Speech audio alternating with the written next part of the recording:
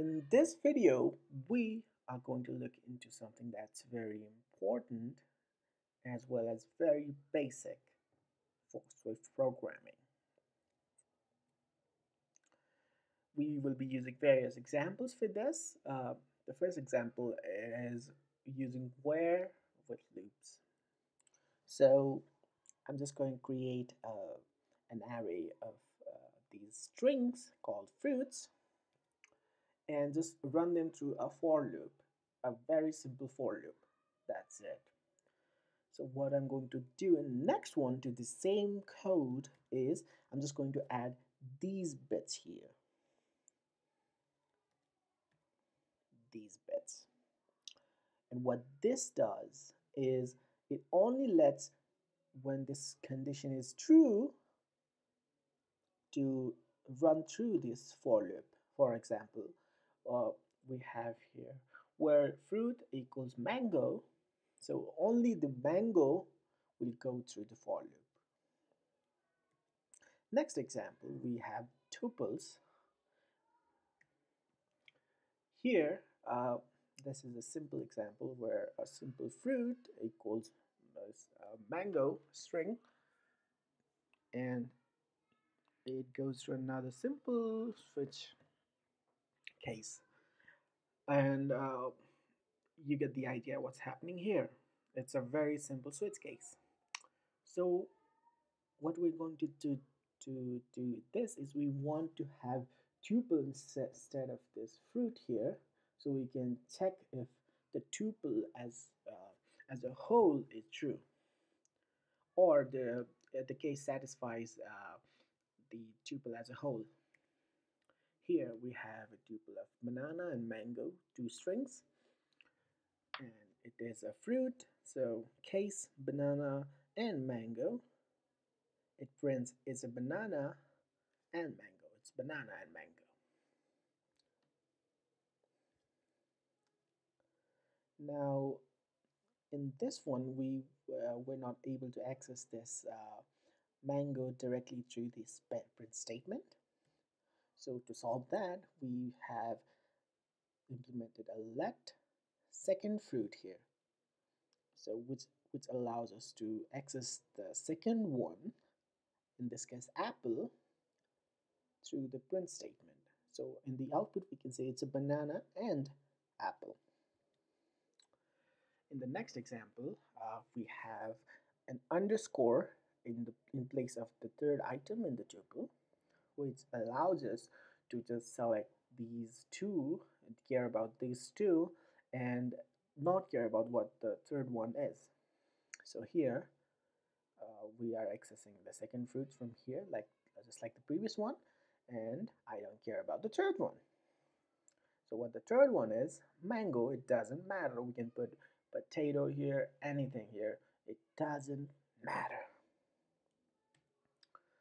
So in this one uh, we're using uh, this is called calculated case um, so what this one does is th when the first one is apple uh, fruit dot zero meaning we, we're accessing the first element of this tuple and we're accessing the second element of the tuple through fruit dot one here and when fruit equals apple fruit one uh, the first equal apple and second equal banana both true then it prints out the first comes apple then comes banana.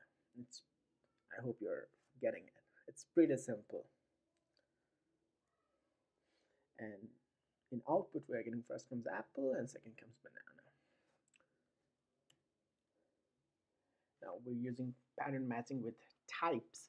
We pattern matched with tuples, we pattern matched with uh, various things. Now we're doing it with types. So for that, we're creating two protocols, pulpy and hard. We're creating three structs here, um, apple, banana, mango. Apple is hard. Uh, apple, the fruit, is hard. Banana, it's pulpy, and mango, it's pulpy. So let's create an array here uh, of type any where we put an apple, banana, and mango. We create an instances of this uh, these structs.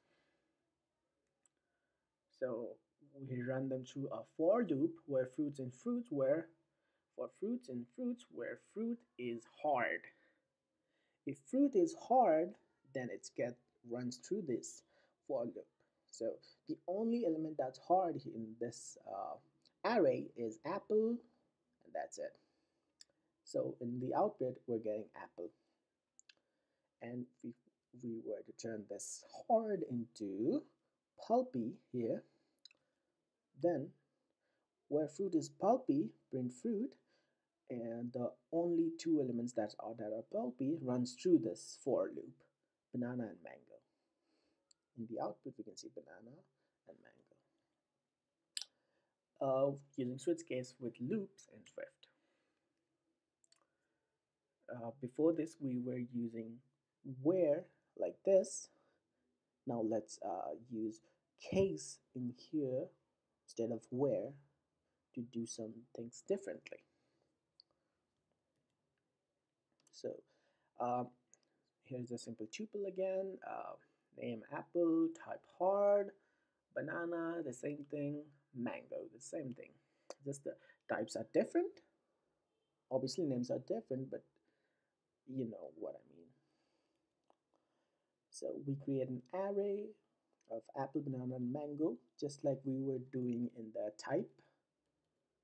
In this case, uh, so we're doing the similar thing here. We're just not creating any protocols and structs. It's just tuples. Fruits, uh, apple, banana, mango.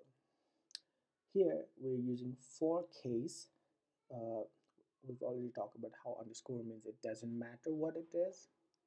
And all we care about is the type is pulpy. If type is pulpy, we don't care what the name of the fruit is. In fruits. So we're using if uh, if the for case uh, if the for statement uh, for loop was for i equal to 1 to 10 so instead of that uh, we have for case 5 in 1 to 10 so only 5 will get uh, executed through the for loop. Similarly here we have these pulpy fruits. So only these two are pulpy so we have two times. I like pulpy fruits, I like pulpy fruits.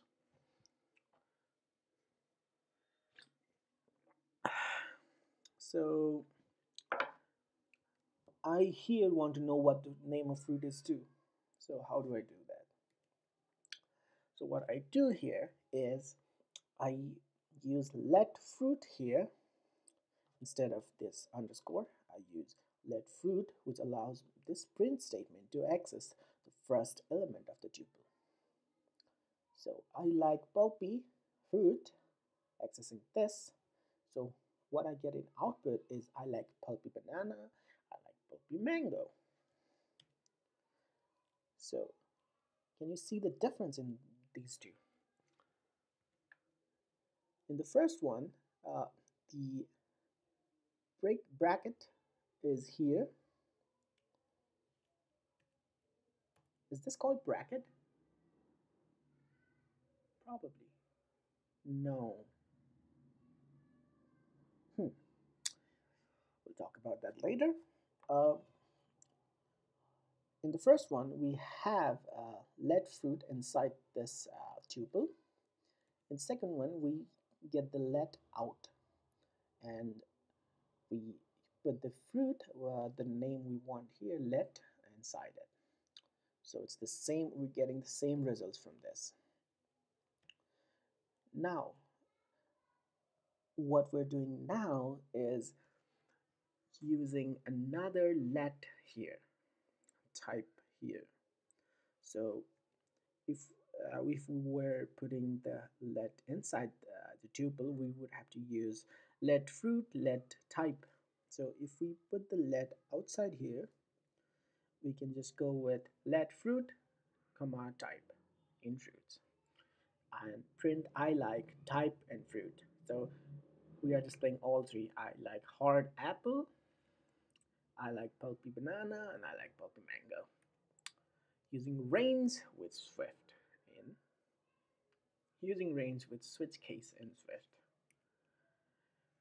Using range in Swift.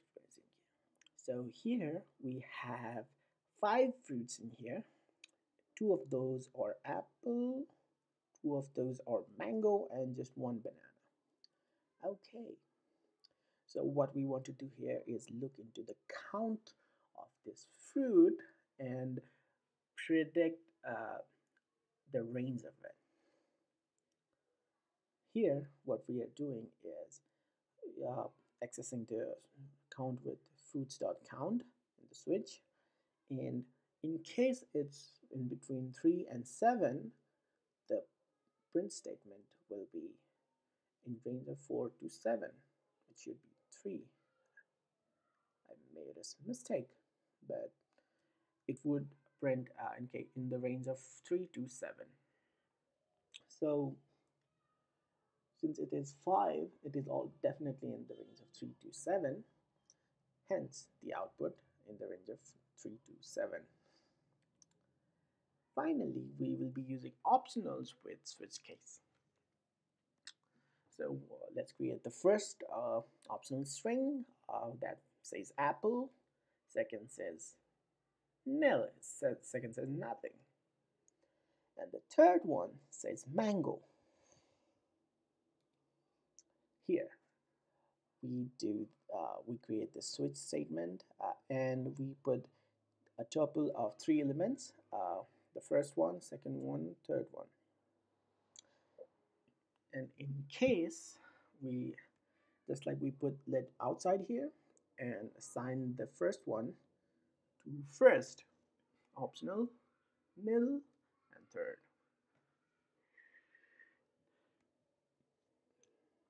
So we know that the second one will be nil. If, if we want to see the case where the second one is nil we do this. And we, print, we can print out first empty and third. Apple empty and mango apple empty mango.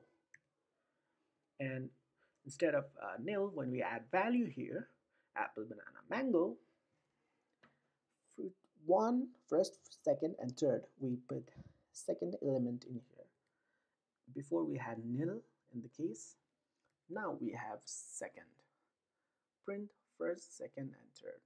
So what we get the output is apple banana and mango so this was it. See you on the next one and keep being a swiftaholic